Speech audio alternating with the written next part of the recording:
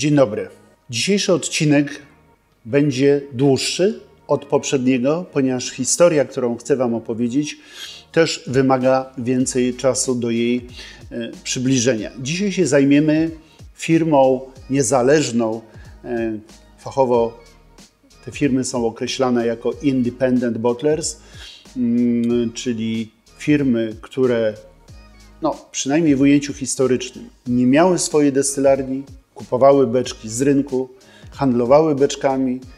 Te beczki, które im przypadły do gustu, butelkowały pod swoją własną marką. Jedną z takich e, firm, która e, dość długo funkcjonuje na rynku, która zresztą e, pojawiła się, gościła na naszym Whisky Life Warsaw teraz w październiku w tym roku, była firma Rattray.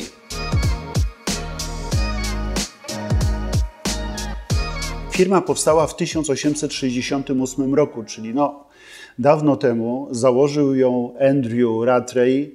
E, założył ją mniej więcej w taki sposób, jak wiele znanych nazwisk, świata whisky blendowanej chociażby zaczynało. Czy to był Walker, czy Ballantine, czy, czy Dewar e, i tak dalej. Czyli e, Andrew założył sklep E, w mieście Glasgow. W tym e, sklepie sprzedawał e, wiele przeróżnych rzeczy, przede wszystkim, mm, ponieważ zajmował się również importem win, importem spirytualiów, a także oliwy, no to głównie te produkty można było znaleźć u niego w sklepie, ale też jak ta konkurencja, o której wspomniałem, zaczął dosyć szybko poszerzać czy rozbudowywać biznes, e, stając się nie tylko detalistą czy sklepikarzem, ale także i hurtownikiem, i brokerem, i pośrednikiem. W związku z tym ta firma dosyć mocno e, rosła. E, rosła na tyle, że stał się on przedstawicielem czy agentem handlowym, czy dystrybutorem mm, wielu szkockich destylarni rozsianych po całym regionie. Jedną z destylarni, którą reprezentował, była destylarnia Stronaki.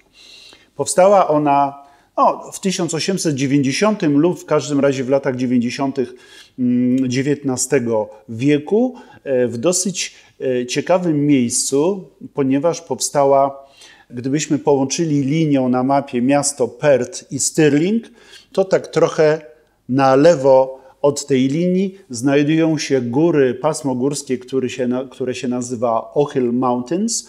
E, I właśnie u podnóża jednego ze szczytów, to jest niewielkie pasmo górskie, e, te szczyty wahają się tam od 300 do 400 metrów, czyli niezbyt dużo. E, u podnóża jednego z takich szczytów powstała właśnie ta destylarnia i zaczęła sobie pracować. Andrew Rattray był jej agentem. E, kupował destylat z destylarni, no i dostarczał, sprzedawał go nie tylko poprzez mm, swój sklep, ale także dostarczał do różnych tam e, restauracji, tawern rozsianych po mieście Glasgow i nie tylko. Destylarnia funkcjonowała dosyć krótko, bo została zamknięta w 1928 roku, czyli niecałe cztery dekady. Mm, jej zamknięcie spowodowane było no, po pierwsze sytuacją ekonomiczną po I wojnie światowej, E, olbrzymim wzrostem cen energii, a także cen zbóż, które wiadomo no, do produkcji whisky potrzebny jest jęczmień. Więc ona została zamknięta. Również w latach 20. XX wieku na rynku pojawił się e, Stanley Morrison, o którym wspominałem już Wam też w jednym z poprzednich odcinków, który wszedł w układ, mm, w biznes razem z Williamem Walkerem. No i w 1928 roku zostaje zamknięta destylarnia Stronaki. W 1938 znów sytuacja tuż przed wojną, a również fakt, że wiele, wiele lat wcześniej, bo w 1910 zmarł założyciel firmy, czyli Andrew Rattray, firma zostaje mm, przejęta właśnie przez Williama Walkera, a rok później, czyli w 1939 Stanley Morrison E, poślubił córkę Williama Walkera, Elizabeth, no i dwie rodziny mm, pochodzące z branży i e, mające wielkie znaczenie w owym czasie w branży whisky łączą wspólnie siły.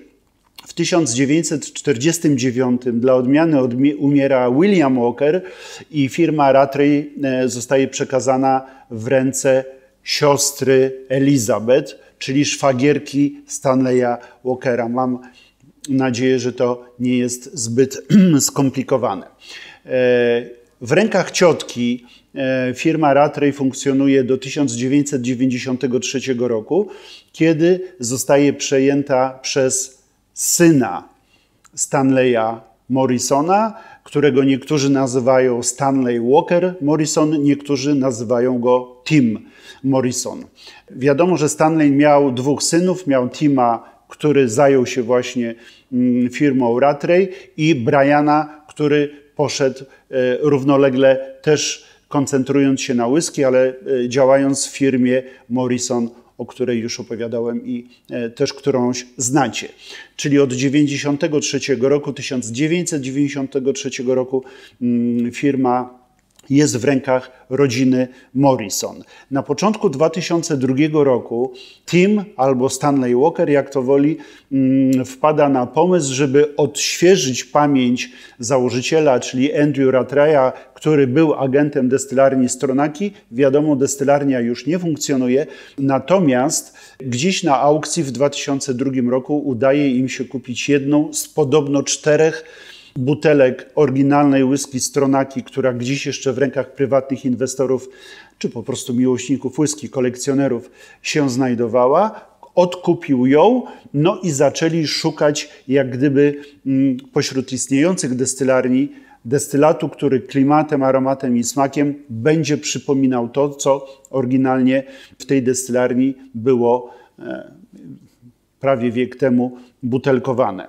E, okazało się, że najciekawszym destylatem, który najbardziej pasuje do tego dawnego charakteru whisky, jest destylat z destylarni Benrines. No i właśnie tą whisky mm, Rattray zaczął kupować w beczkach po to, żeby nieduże partie butelkować pod nazwą Stronaki. Wspomniałem, że ta destylarnia była położona tuż przy tym paśmie górskim Ohill Mountains, które, jak głosi legenda, dawno, dawno temu okoliczne lasy e, zamieszkiwali czarownicy, ale także wiedźmy.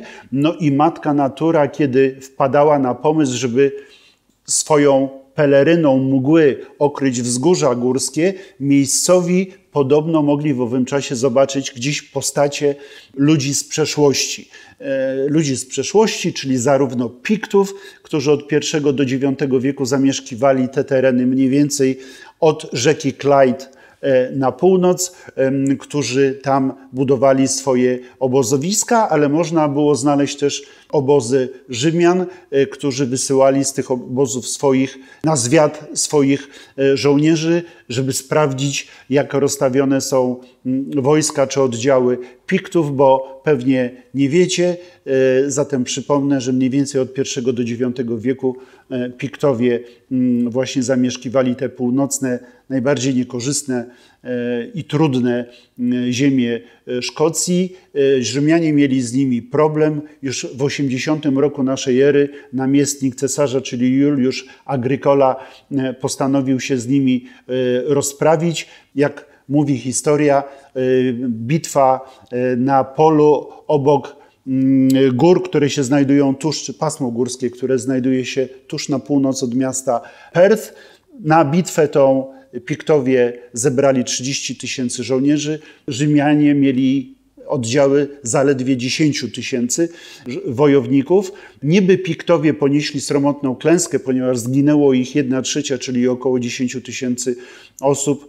E, Rzymian e, zginęło niewiele ponad 500 osób, mm, co jednak nie zmieniło faktu, że z 30 tysięcy, jak zginęło 10, to nadal 20 tysięcy zostało, a Piktowie byli niezwykle groźnymi przeciwnikami i wojownikami, których mm, Rzymianie się bali. Też opowiadałem kiedyś, że e, wybudowano taki mur Hadriana od zachodniego do wschodniego wybrzeża Szkocji po to, żeby się uchronić przed tymi dzikusami, a Piktów uważano za dzikusów nie tylko dlatego, że się nie ubierali, chodzili nago, nie tylko dlatego, że byli cali wymalowani albo wytatuowani, mm, to jeszcze potrafili w chwili zagrożenia na przykład cofnąć się e, na bagna i w tych bagnach siedzieć w wodzie kilka dni, żywiąc się tylko e, korą z drzew i korzonkami. Więc postacie tych Rzymian, czy postacie Piktów w trakcie tej mgły mm, w tych e, górach można było mm, spotkać.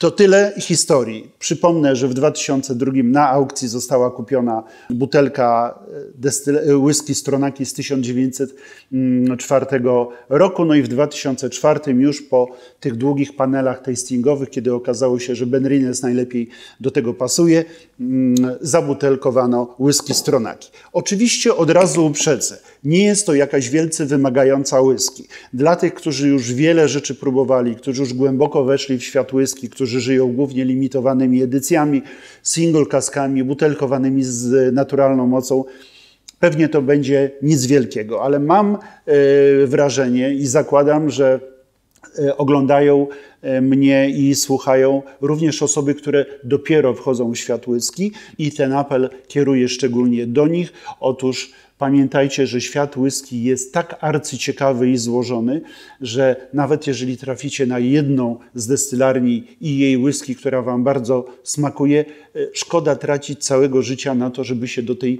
jednej przykleić. Warto próbować, dlatego że próbowanie różnych destylatów o różnych aromatach i smakach po prostu poszerza, powiększa Wasze doświadczenia zmysłowe i dopiero po takiej degustacji możecie Wy osobiście obiektywnie stwierdzić, czy dana whisky Wam pasuje, czy nie. Czyli mamy dziesięcioletni single malt Stronaki, który pochodzi z destylarni Benrines. Mm, to jest w ogóle ciekawa destylarnia, więc może na końcu jeszcze o niej troszkę opowiem. Mam nadzieję, że dobrą whisky degustuję. Butelkowana z mocą 43%. Ma dosyć taki świeży, trochę mineralny zapach. Nie powiem, że czułbym tu dużo e, słodyczy, jednak jest e, w aromacie bardziej wytrawna i tak powiedziałem, troszkę taka ziemista, trochę e, mineralna. Pachnie bardziej e, takimi sianokosami czy świeżo e, zebranym jęczmieniem. Może nawet taką świeżo podkoszoną i lekko podsuszoną trawą, czyli w tym kierunku idziemy.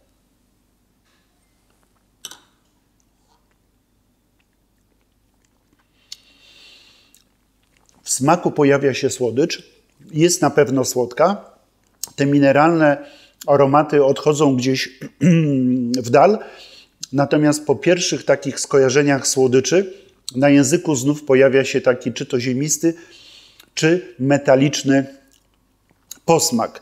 Nie jest skomplikowana, ale bardzo przyjemna whisky, którą naprawdę polecam. Warto spróbować, żeby wyrobić sobie mm, swoje własne zdanie. No i teraz wrócę do tej destylarni mm, Benrines. Jest to w ogóle chyba e, ewenement jeden z niewielu przypadków, jeżeli chodzi o destylarnię szkockie, która jest niby umieszczona w regionie mm, Speyside. Region Speyside przyjęło się mówić, że charakteryzuje się whisky, e, która tam jest produkowana, jest właśnie bardzo słodka, bardzo owocowa, a Benrines nagle kompletnie nie daje się wpisać w ramki tego charakteru Speyside'owego. E, z kilku przyczyn. Jest to oczywiście stara destylarnia, która powstała w 1826 roku, ale ta, która znajduje się obecnie, to już jest jej druga lokalizacja. Pierwsza po powodzi została po prostu y, zniszczona, więc mamy destylarnię, która ma po pierwsze bardzo ciekawy mm, sposób destylacji. Czy miała, bo już go zawiesiła, ale miała tak zwany dwu i pół krotny proces destylacji, czyli nie dwukrotna, nie trzykrotna, tylko niejako 2,5. Podobną sytuację, ale tam się określa jako 2,81 bodajże krotność ma destylarnia Mortlach. Działało to mniej więcej w ten sposób, że mieliśmy 6 alembików, 3 i 3. 3 wash stile, 3 spirit stile i cały proces destylacji wyglądał tak, że Po pierwszej destylacji to, co otrzymaliśmy, było rozdzielane jak gdyby na dwie części. Pierwsza część zostawała i czekała, ta druga była drugi raz destylowana.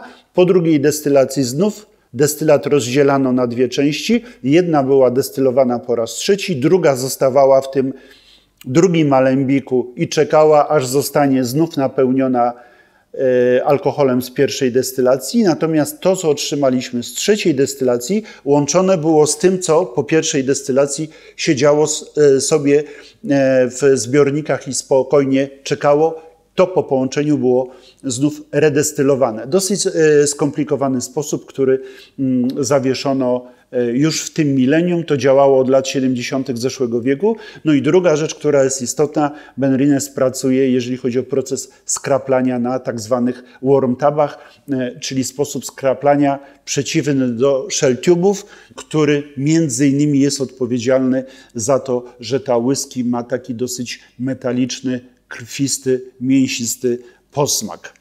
Właśnie tego typu whisky znajdziemy w kieliszku numer jeden. Odstawię go na bok Ponieważ Wam wspomniałem, że firma Ratrey to w tej chwili głównie broker czy firma niezależna zajmująca się kupowaniem beczek i butelkowaniem mm, pod własną marką, chociaż ta destylarnia w 2017 roku w Glasgow wybudowała w pięknym miejscu nad samym nabrzeżu destylarnię Clydeside, o której pewnie się wkrótce też dowiemy.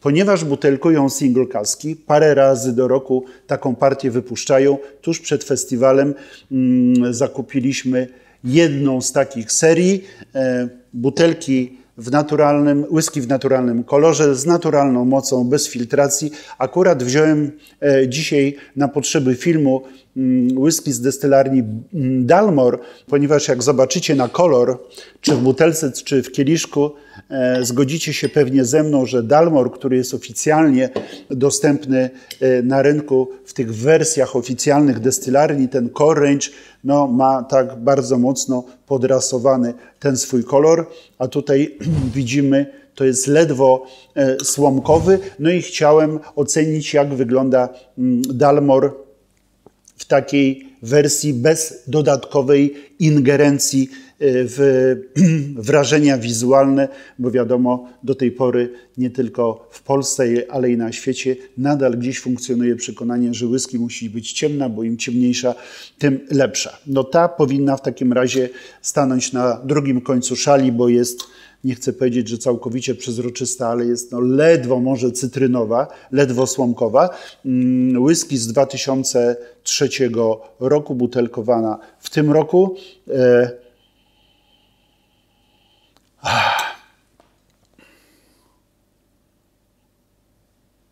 Niezwykle interesująca whisky w aromacie. E, gdybyście poczytali na temat jakiegokolwiek Dalmora z tego Corrange'u, nie znajdziecie tutaj w opisach nic takiego.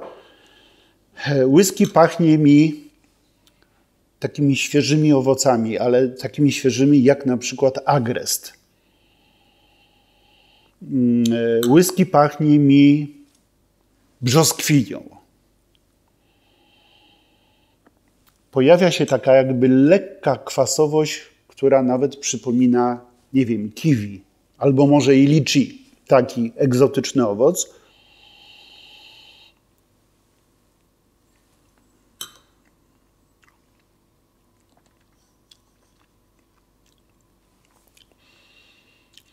Znów w smaku, podobnie jak stronaki, w smaku ukazuje słodycz, której w aromacie za dużo nie ma. Są oczywiście takie, pomijałem te, mm, wspomniałem te nuty owocowe, no ale jeżeli chodzi o agrest czy kiwi, ciężko mm, nazwać e, te owoce mm, słodkimi, chyba że już są bardzo dojrzałe albo wręcz przejrzałe. Czyli w aromacie takie niedojrzałe zielone owoce, w smaku pojawia się słodycz i zaczynają się pojawiać takie fajne, ziołowe nuty. Tak, podkreślę jeszcze raz, nuty ziołowe.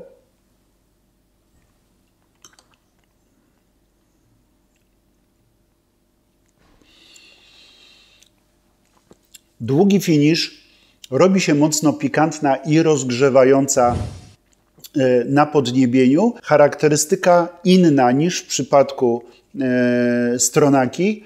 Nie tyle mamy tutaj te nuty e, słodu jęczmiennego czy skoszonej trawy. Bardziej, jak powiedziałem, są to młodziutkie, świeżutkie, niedojrzałe mm, owoce. Taka lekka kwasowość w aromacie, natomiast w smaku wybija zdecydowanie słodycz i po chwili na języku pojawiają się bardzo sympatyczne takie ziołowe nuty. Gdzieś na finiszu nawet nie wiem, czy bym nie określił tego jako e, nuty lekko e, miętowe. Obydwa produkty są produktami firmy e, Andrew Rattray, która od 1868 roku funkcjonowała na rynku. Od 2004 roku butelkuje mm, krótkimi partiami whisky Stronaki. Od 2004 roku zaczęła też wydawać single kaski pod swoim e, brandem, a oprócz tego od 2017 jest właścicielem destylarni Clydeside, która się znajduje w Glasgow. Dla tych, którzy nie próbowali, polecam do spróbowania. To nie jest droga whisky, ona kosztuje sporo poniżej 200 zł, e, żeby zapoznać się z charakterem tej whisky, jak i destylarni Benlines, no oraz, oraz oczywiście polecam wszystkie single kaski, które będziecie mogli zdobyć, jeżeli chodzi o firmę e, Andrew Rattray. Myślę, że to tyle na dziś starczy. Znów zakrywam peleryną e, butelki. Dzisiejszy odcinek na tym kończę i do zobaczenia, mam nadzieję, w kolejnym tygodniu.